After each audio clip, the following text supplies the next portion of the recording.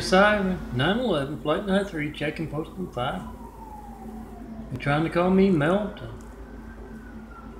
Not one flight 93 check call in over a decade of asking. Tried to call me up in front of all Catholic cops, priests, and doctors. Asked them what the Catholic Church is getting their hands bloody with. Besides, an active part in America's hijack lifelines, the world's hijack lifelines, that's Randall Stevenson next door there. With a whole lot of the Pope Francis's backup noise hate. They can easily turn it off.